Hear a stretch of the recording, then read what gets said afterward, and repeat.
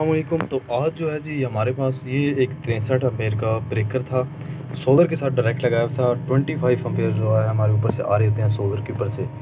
लेकिन इसके अंदर फॉल्ट यह है कि ये ब्रेकर ख़राब हो गया है। अब ख़राब क्यों हुआ है, ये मुझे इसका, या तो ये कंपनी लो थी, तिरसठ अम्पेयर है और ऊपर से सिर्फ़ पच्चीस अम्पेयर आ रहे हैं। अभी इसके अंदर मसला ये आता है कि जैसे ही आप इसको इनपुट देंगे सोलर की सोलर की इनपुट आपकी आती है बीस, उन्नीस, बीस वोल्ट। लेकिन जो आगे आ रहे होते हैं, वो हमारे पास सिर्फ़ बारह आ रहे होते हैं। तो अभी जो है जी, फ़िलहाल हमने गुजारिश चलाने के लिए ये जो दो ब्रेकर हैं, इनको जोड़ के लगाएँगे इनके साथ, और फ़िलहाल हमारा जो टाइम है, वो चल जाएगा। तो एक मेरे पास है दस अम्पेयर का, और एक है हमारे पास सोलह अम्पेयर का। ये छब्बीस अम्पेयर बन जाते हैं। तकरीबन चौबीस पच्चीस अम्पेयर ऊपर हमारे सोलर से आते हैं। तो उम्मीद हमारा कुछ ना कुछ गुजारा चल जाएगा। इस तरीके से जो हमारे कनेक्शन हैं वो होंगे। लेकिन अब ये आगे तो ये डबल पोल था। ये अब हमारा सिंगल पोल है, ठीक है?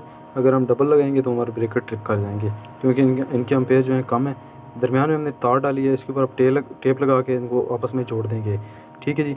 एक ऊपर से इनपुट देनी है और नीचे से आउट ले रही है। जहाँ से एक दफ़ा टेप लगा लेते हैं और उसके बाद इसको चेक करते हैं।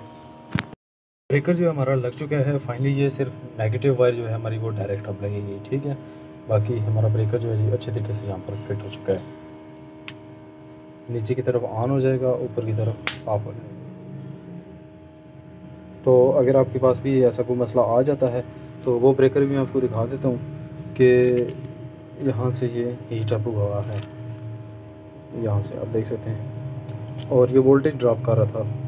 ठीक है जी, इसको उन्नीस वोल्ट मिल रहे थे, ये आगे से सिर्फ़ बारह दे रहा था, ये रेगुलेटर बन गया था तो इसको आप चेक करेंगे कि इसके अंदर क्या फॉल्ट था।